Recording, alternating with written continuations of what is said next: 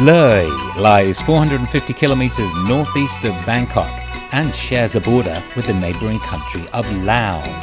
Its history is also intertwined with the two different nations. We're at Prathat Si Song Rak, 32 kilometers from the Mekong River. That's the border between Thailand and Laos. When this was built back in 1560, the border was right here, and the name means stupa of love between the two nations. The two nations being Thailand, back when the capital was in Ayutthaya, and Laos when the name was Lan Chang, the kingdom of a million elephants. Now, the two nations fell in love partly because they both hated the Burmese, but it was a serious affair, and to this day there is a dress code here. No red is allowed because red is the color of hatred and violence. So, assuming we're appropriately attired, let's go explore.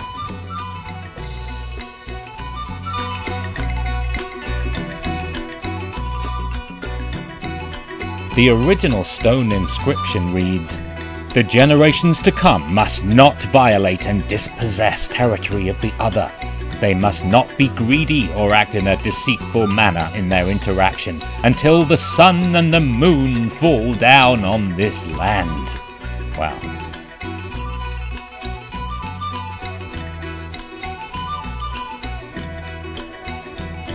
Prathat Si Songrak is the oldest Buddhist edifice in Dan Sai, but it's not the only one.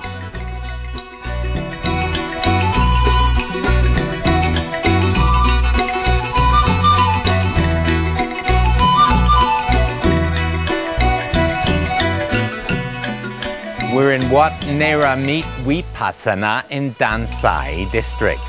The temple itself was built fairly recently in 1978, but it was made out of a stone called laterite, and that's the same stone that was used to build Angkor Wat and Phimai a few hundred kilometers to the south. Inside, there's a mural that took seven years to finish. Let's go take a look. You can see why it took so long. The detail is incredible. And because it's so recent, the colors are vibrant.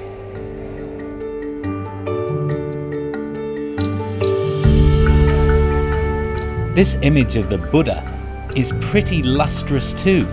It's a copy of the original at Wat Yai in Phitsanulok. At the other end of the ordination hall is the Mondop, and inside, the monk who founded the temple. Well, on closer inspection, it's a replica. His preserved body is actually in the casket behind. Does that seem a little spooky to you?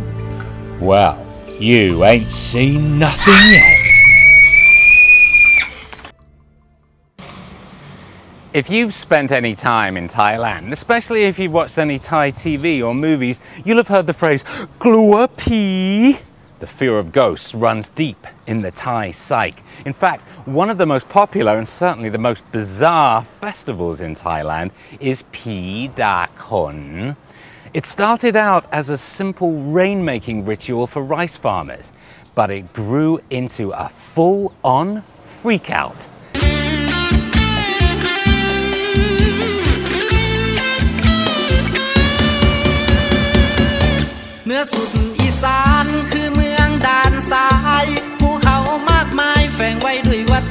ธรรมผีตาโคนคือชื่อเสียงเรื่องลือนามช่างสวยงดงามฮาโลวีนเมืองไทย จากขวดหนึ่งข้าวเอามาทำเป็นหัวโคนหน้ากาโคนการมะพร้าวสีสดใสจมูกยาวแหลมคล้ายงวงช้างใหญ่ตกแต่งแต้มลายหลากสีสันดูสวยงาม Unlike Halloween, the Phi Ta Khon festival doesn't take place on the same date each year.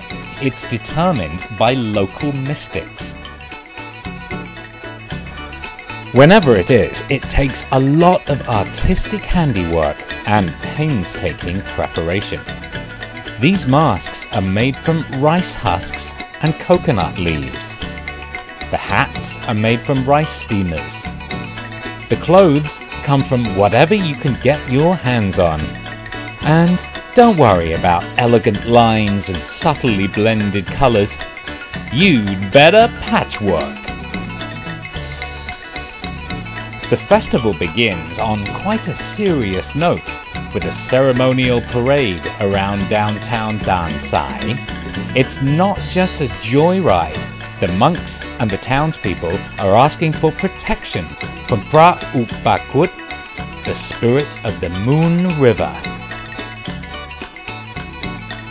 But when the heavenly religious rites are dutifully completed, all hell breaks loose.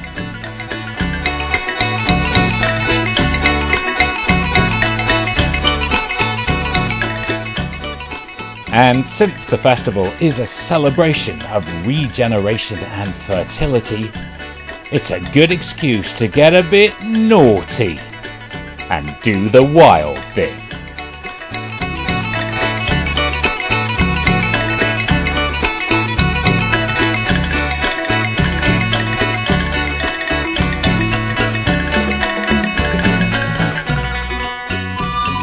some history and some mystery in Dan Sai in the northeastern Thai province of Loei.